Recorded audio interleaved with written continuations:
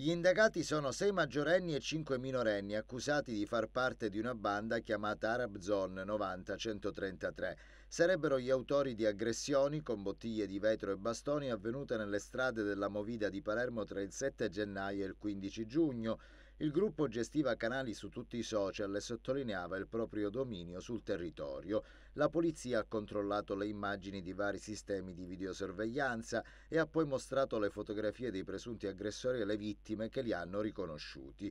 Gli undici destinatari delle misure cautelari sono accusati di vari reati, tra cui lesioni aggravate, minacce, resistenza ad un agente della polizia e rapina aggravata.